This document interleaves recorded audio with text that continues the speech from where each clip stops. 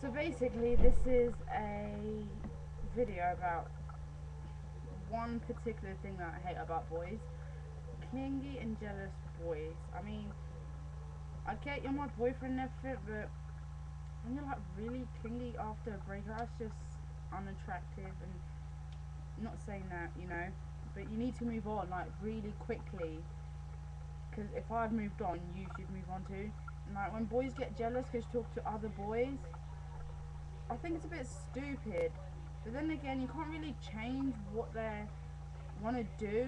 But still, if I'm talking to another guy, it shouldn't really bother you. We're not together or anything. Like, if you're not with someone and you never were with someone in the first place, why get jealous if they're talking to other boys just because you like them?